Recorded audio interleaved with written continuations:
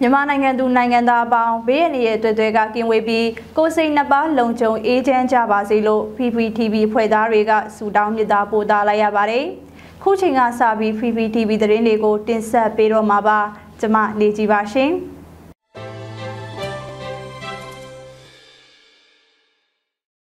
ဒီကနေ့အောက်တိုဘာ9ရက်နေ့တင်းလာနေ့အတွက်တင်ဆက်ပေးမယ့်သတင်းကောင်းစီတွေကတော့ ပြည်အောင်စုလွှတ်တော်ကိုစားပြုကော်မတီနဲ့လူသားချင်းစာနာထောက်ထားရေးနဲ့ဘေးရန်ရဲ့ဆိုင်ရာစီမံခန့်ခွဲရေးဝန်ကြီးဌာနတို့တွေ့ဆုံဆွေးနွေးတဲ့သတင်းတရက်တာတိုက်ပွဲအတွင်းအကြမ်းဖက်စစ်သား33ဦးကိုတော်လှန်ရေးတပ်ဖွဲ့တွေကရှင်းလင်းခဲ့တယ်လို့ပြည်ထောင်နဲ့လူမှုကြီးကြပ်ရေးဝန်ကြီးဌာနကထုတ်ပြန်လိုက်တဲ့သတင်းတော်လန်လူပညာဖန်တီးမှုဖြစ်တဲ့သဝေးကိုနယူးယောက်မြို့လယ်မှာပြသခဲ့တယ်ဆိုတဲ့သတင်း ကမ်ဘလူးမြို့နယ်မှာအကြမ်းဖက်စစ်တပ်ကနှစ်ပတ်ကြာစစ်ကြောင်းထုံနေလို့ပြည်သူတထောင်ကျော်စစ်ပေးရှောင်နေရပြီးခလေးငယ်အပါဝင်၃ဦးဖမ်းခံလိုက်ရတဲ့တဲ့င်း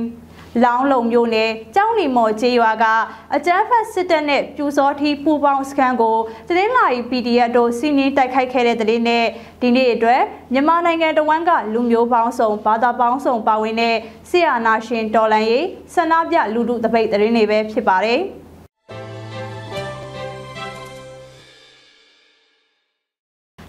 ဆုံးတင်ဆက်ပေးခြင်းတဲ့သတင်းကတော့ပြည်အောင်စုလွှတ်တော်ကိုစားပြုကော်မတီနဲ့လူသားချင်းစာနာထောက်ထားရေးနဲ့ဘေးအန္တရာယ်ဆိုင်ရာစီမံခန့်ခွဲရေးဝန်ကြီးဌာနတို့တွေ့ဆုံဆွေးနွေးတဲ့သတင်းပါပြည်အောင်စုလွှတ်တော်ကိုစားပြုကော်မတီ CRPH နဲ့မြို့သားညီညွတ်ရေးဆိုရ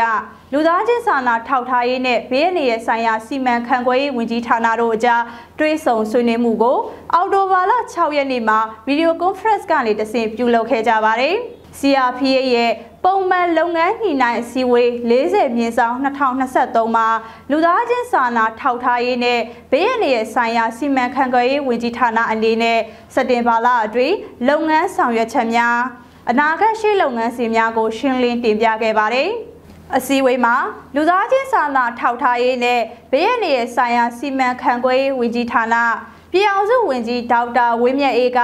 ဝန်ကြီးဌာနအနေနဲ့စက်တင်ဘာလအတွင်းစစ်ဘေးရှောင်ပြည်သူများနဲ့ထိခိုက်လွယ်အုပ်စုများ338,326ဦးအိမ်အောင်စု813စုအတွက်လူသားစာနာအကူအညီငွေကျပ်323တန်းကျော်ပေးရခြင်းပြပုံကြားကမြန်မာပြည်သူစာနာမှုနဲ့ဝိုင်းလို့ကိုခေါင်းစဉ်နဲ့အဖို့ခက်စီဖေးပါတစောင်းထွက်ရှိနိုင်ရေးဆောင်ရွက်ခြင်းစိတ်လူမှုကာကွယ်စောင့်ရှောက်ရေးလုပ်ငန်းများ လူသားစာနယ်တာဝန်ခံများအတွက်စွမ်းရည်မြင့်တင်တင်နန်းများဆရာနာရှင်စနစ်ဖီဆယ်ရေးလှုပ်ရှားမှုမှာပါဝင်ကြတဲ့ပြည်သူဝန်ထမ်းများအတွက်စိတ်ပိုင်းဆိုင်ရာနှစ်သိမ့်ဆွေးနွေးမှုအစီအစဉ်များဆောင်ရွက်ပေးခြင်းအတန်မွေးဝမ်းကြောင်းတင်နန်းများအလောက်ကိုင်ခွေလဲများဖန်တီးပေးခြင်းလုပ်ငန်းများအကောင့်ထဲပေါ်နိုင်ရဲ့ပြည်တွင်ပြည်ပအဖွဲ့အစည်းများနဲ့ပူးပေါင်းချိတ်ဆက်ပေးခြင်းတို့အပြင်တော်လှန်ရေးကာလအတွင်းစကိုင်းတိုင်းမကွေးတိုင်း ပဲခူးတိုင်းမန္တလေးတိုင်းနဲ့တနင်္သာရီတိုင်းပြည်နယ်တို့ရှိစစ်ဘေးရှောင်ပြည်သူများအတွက်ဘုံခိုခြင်း1296ကျင်းတူးဖော်ပေးနိုင်ခဲ့ပြီးထပ်မံလိုအပ်ချက်များအားသုံးသက်တင်ပြခြင်းရှေ့ဆက်လှုပ်ဆောင်ရမယ့်လုပ်ငန်းစဉ်များကို ရှင်းလင်းပြောကြားခဲ့ပါတယ်။အဲ့ဒီနောက်တက်ရောက်လာတဲ့ကော်မတီဝင်များကတိရှိလိုရာများအားဆွေးနွေးမေးမြန်းခဲ့ကအကြံပြုခဲ့ကြပြီးပြည်အောင်စုဝင်ကြီးကပြန်လည်ရှင်းလင်းဖြေကြားခဲ့ပါတယ်။ ဆက်လက်ပြီး CRPA ရဲ့ရေးရာကော်မတီများအလိုက်လုပ်ငန်းဆောင်ရွက်ချက်များတင်ပြဆွေးနွေးရမှာဥပဒေရေးရာကော်မတီ NUCC ရေးရာကော်မတီမျိုးသမီးလူငယ်နဲ့ကလေးသူငယ်ရေးရာကော်မတီနဲ့နိုင်ငံတကာဆက်ဆံရေးကော်မတီတို့ကဆောင်ရွက်ထားရှိတဲ့လုပ်ငန်းများအားရှင်းလင်းတင်ပြခဲ့ကြပါတယ်။ အစည်းအဝေးသို့ပြည်အောင်စုလွှတ်တော်ကိုစားပြုကော်မတီဥက္ကဋ္ဌနဲ့အဖွဲ့ဝင်များရေးရကော်မတီများမှဥက္ကဋ္ဌများနဲ့အတွင်ရေးမှူးများလူသားချင်းစာနာထောက်ထားရေးနဲ့ဘေးအန္တရာယ်ဆိုင်ရာစီမံခန့်ခွဲရေးဝန်ကြီးဌာနပြည်အောင်စုဝင်ကြီးနဲ့တာဝန်ရှိသူများတက်ရောက်ခဲ့ကြတယ်လို့ပြည်အောင်စုလွှတ်တော်ကိုစားပြုကော်မတီကသတင်းထုတ်ပြန်ထားပါတယ်။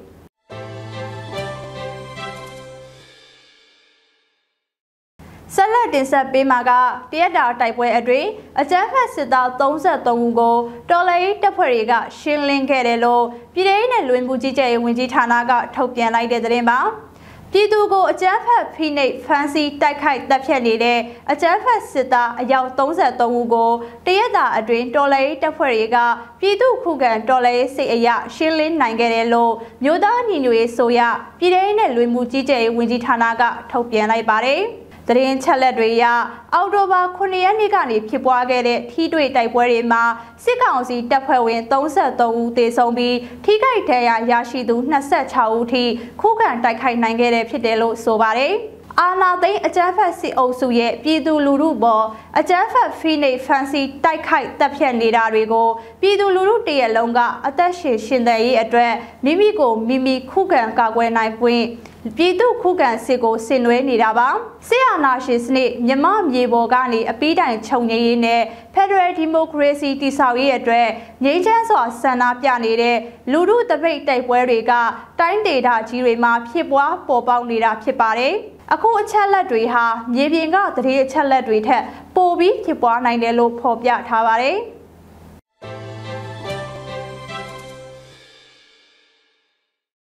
အခုတင်ဆက်ပေးမယ့်သတင်းကတော့တော်လန်လူပညာဖန်တီးမှုဖြစ်တဲ့ The Way ကိုနယူးယောက်မြို့လယ်မှာပြသခဲ့တဲ့ဆိုတဲ့သတင်းပါတော်လန်လူပညာဖန်တီးမှုဖြစ်တဲ့ The Way Musician Play ကိုအမေရိကန်ပြည်ထောင်စုနယူးယောက်မြို့လယ်ခေါင်ကမဟတ်တန်ရက်ကွက်မှာအောက်တိုဘာ9ရက်စနေနေ့ပွဲစဉ်နှစ်ကြိမ်ခွဲပြီးပြသမှုတွေပြုလုပ်ခဲ့ပါတယ်။ The Way မတရားပစ္စည်းတွေ T-shirt, တူဘတ်တချင်းထည့်ထားတဲ့ memory stick နဲ့ key chain ရောင်းချနိုင်ခဲ့ပြီးမြမပြည်ဖွားတိုင်းရင်းသားညီအကိုမောင်နှမ400ကျော်ရုံပြည့်ရုံရှမ်းကြီးစုမှုအားပေးခဲ့ကြပါတယ်။မြန်မာစားစာများကိုလည်းရောင်းချခဲ့ပါတယ်လို့ The Way Musician Film ပြသတဲ့ပွဲစီစဉ်ရမှာပါဝင်သူတဦးကပြောပါတယ်။ပွဲကိုလာရောက်ကြည့်ရှုသူတွေအနေနဲ့ The Way Musician Film ရဲ့ဒါရိုက်တာလင်းလင်း တော်လန်နုပညာရှင်များဖြစ်ကြတဲ့ချစ်သူဝေ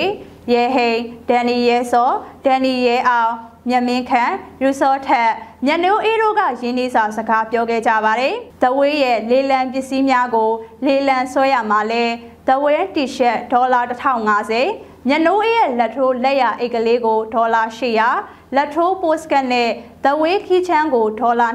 2500သဝေးအိတ်ကိုဒေါ်လာ1500 The Way USB stick ကိုဒေါ်လာ3000လို့ရရှိခဲ့ပြီးလေလံပွဲမှာရရှိတဲ့ငွေမှာအမေရိကန်ဒေါ်လာ8850ရရှိခဲ့တယ်လို့အတည်ပြုထားပါတယ်။ရရှိလာတဲ့ရန်ပုံငွေအားလုံးကိုပြည်တွင်းကလိုအပ်တဲ့နေရာတွေကိုလှူဒန်းသွားမှာဖြစ်ပါတယ်။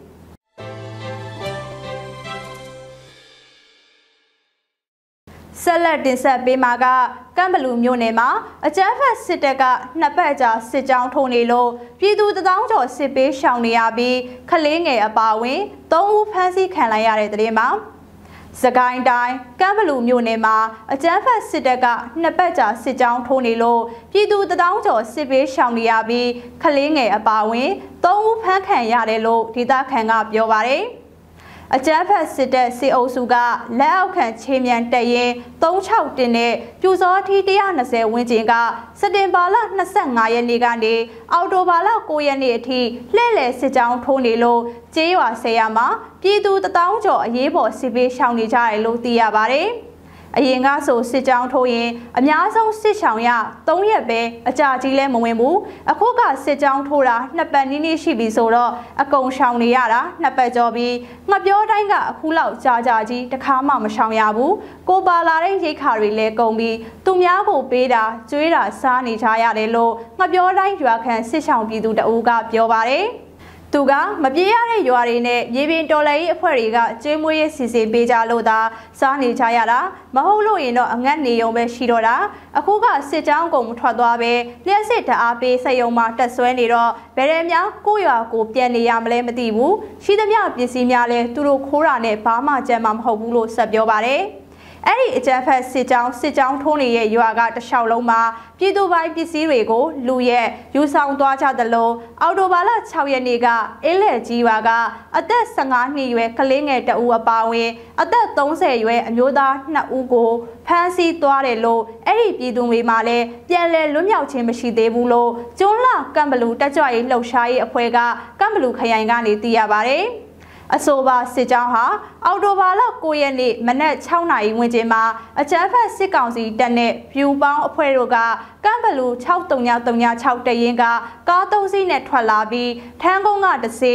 ဇီးကုန်းတကြားဆက်ကိုရောက်ရှိနေတယ်လို့သိပါတယ်။အဲ့ဒီစစ်ကြောင်းထုံးမှုကြောင့်ငပြောတိုင်းခအုံးတာ JBF အင်းလေကြီးရွာမှာရွာတိညတစင် ပေကြီးမြိုင်သာယာနဲ့လေးလစားတဲ့ကျေးရွာဆေးရွာကဒေသခံအပြစ်မဲ့ပြည်သူတွေမှာလက်ရှိအချိန်ထိရွာမပြန်နိုင်သေးပဲဘေးလွတ်ရာမှာစစ်ဘေးရှောင်နေကြရဆဲဖြစ်ကစားနေရိတ်ခါနဲ့အမိုးအကအခက်ခဲတွေကြုံတွေ့နေရတယ်လို့သိရပါတယ်။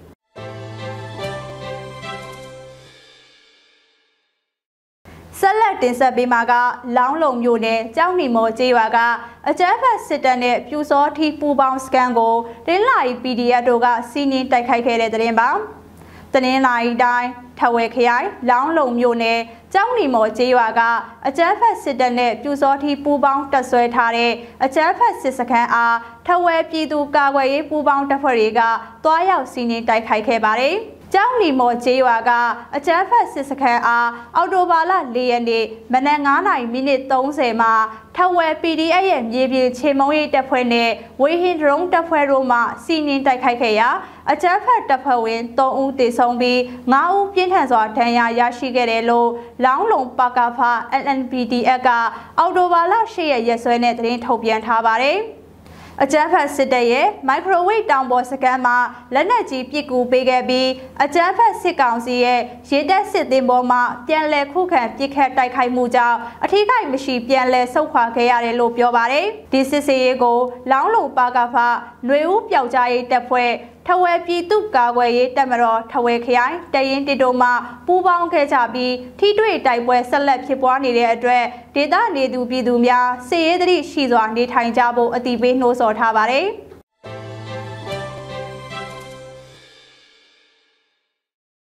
အခုနောက်ဆုံးအနေနဲ့မြန်မာနိုင်ငံတဝန်းကလူမျိုးပေါင်းစုံဘာသာပေါင်းစုံပါဝင်တဲ့ဆီယနာရှင်မြစ်ဖြတ်ချိန်မုံရေးလူမှုဆန္ဒပြပွဲသတင်းတွေကိုစူးစီးတင်ဆက်ပေးမှာဖြစ်ပါတယ်။ ရင်းမပြေမြို့နယ်ရွှေနယ်သိန်းတပိတ်စစ်ကြောင်းက812ရက်မြောက်အဖြစ်ဆီယာနာရှင်စန့်ချီရေးဆန္ဒပြတပိတ်ကိုပြုလုပ်ခဲ့ကြပါတယ်။ဆန္ဒပြတော်လန်ပြည်သူတွေက Our Ambassador Our Voice ဆိုတဲ့စာသားတွေကိုကိုင်ဆွဲကအကြမ်းဖက်ဆီယာနာရှင်မြစ်ဖြတ်ချေမုံရေးခြိတက်ဆန္ဒပြခဲ့ကြတာပါ။ရင်းမပြေမြို့နယ်ရွှေဥက္ကန်တပိတ်စစ်ကြောင်းကအကြမ်းဖက်စစ်တပ်ကြာရှုံးရေးဖြစ်ခြိတက်ဆန္ဒပြပွဲကိုပြုလုပ်ခဲ့ကြပါတယ်။ ဆန္ဒပြတော်လန်ပြည်သူတွေကအာရမကိုအမြင့်ဖြတ်တော်လှန်ရေးလမ်းမပေါ်ကရွှေဥကန်လူလူတပိတ်စစ်ကြောင်းအစရှိတဲ့စာသားကိုကိုင်ဆွဲပြီးအကြမ်းဖက်စစ်တပ်ကြာရှုံးရေးဟစ်ကြွေးမှုတွေနဲ့ခြိတက်ဆန္ဒပြလှည့်လည်ခဲ့ကြတာပါ စလင်းကြီးမြို့နယ်ရဲ့အာမန်တီတပိတ်စစ်ကြောင်းကအကြမ်းဖက်စစ်တပ်ကြာရှုံးရေးဆန္ဒပြတပိတ်ကိုဒီကနေ့မှပြုလုပ်ခဲ့ကြပါတယ်။ဆန္ဒပြတော်လန်ပြည်သူတွေကအာမန်တဲ့တပိတ်စစ်ကြောင်းနဲ့ Our Ambassador Our Voice ငါတို့တန်ဘက်ငါတို့တန်ဆိုတဲ့စာသားကိုကိုင်ဆွဲပြီးအကြမ်းဖက်စစ်တပ်ကြာရှုံးရေးဟစ်ကြွေးမှုတွေနဲ့ခြိတက်ဆန္ဒပြခဲ့ကြတာပါဒေသခံတော်လန်ပြည်သူတွေကနယ်မြေမငြိမ်သက်မှုတွေကြားထဲကပြီးအကြမ်းဖက်စစ်တပ်ကြာရှုံးရေးဆန္ဒပြတပိတ်ကိုနေ့စဉ်ပြုလုပ်နေကြပါတယ်။